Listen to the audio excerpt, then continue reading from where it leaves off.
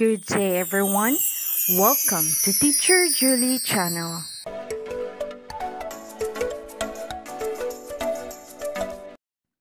Hello everyone, we have our new lesson in Science 7 which is all about nature of the solute, particle size, and solvent affect the rate of solubility.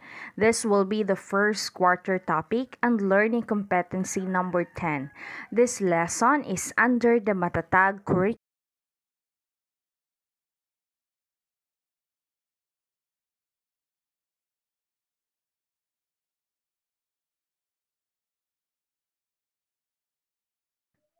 For the objectives, by the end of the lesson, 80% of the learners will be able to. First is to explain the relationship between the temperature and the solubility of solids.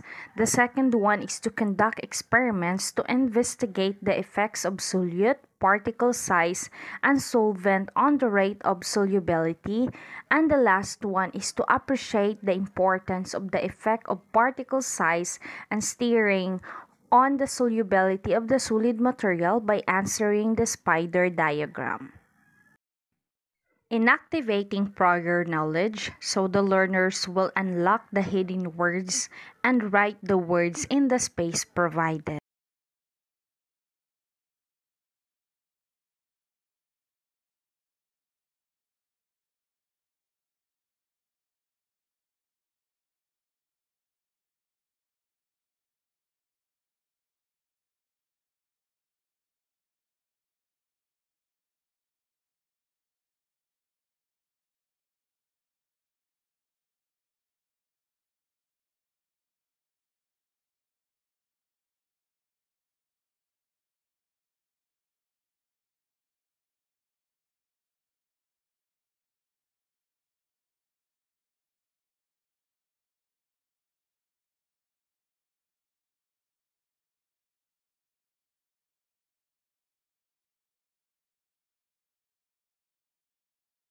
The learners will compare the solubility of different solid substances when exposed to a solvent with varying temperatures.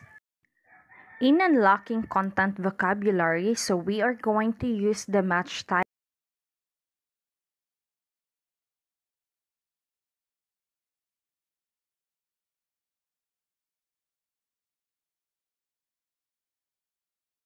in developing and deepening of understanding. So we are going to explain the three factors that affecting the dissolving. The rate of dissolving is very important property of solutions. The rate of dissolving depends on several factors such as temperature agitation and particle size for most solid solutes, the rates of dissolving is greater at higher temperatures. At high temperatures, the solvent molecules have greater kinetic energy and collide with undissolved solid molecules more frequently. Agitating a mixtures by stirring or shaking the container increases the rate of dissolving. Agitation brings fresh solvent into contact with undissolved solute. Decreasing the size of the particles increases the rate of dissolving. When a large mass of solute is broken into smaller pieces, the surface area in contact with the solvent increases. The reasons why a solute may or may not dissolve in a solvent are related to the forces of attraction between the solute and the solvent particles. When the forces of attraction between different particles in a mixture are stronger than the forces of attraction between like particles in a mixture, a solution forms.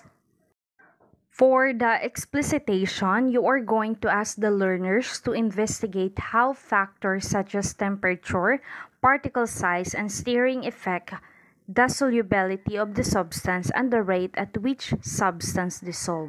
So they are going to do the activity called the size matters.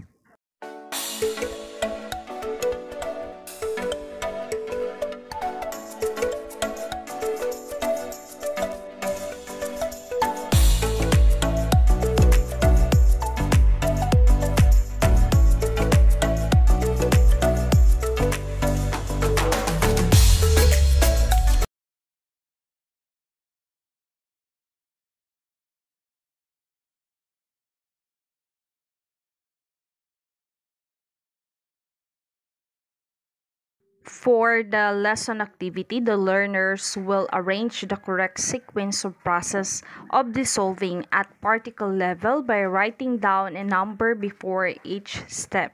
So the diagram serves a guide in identifying the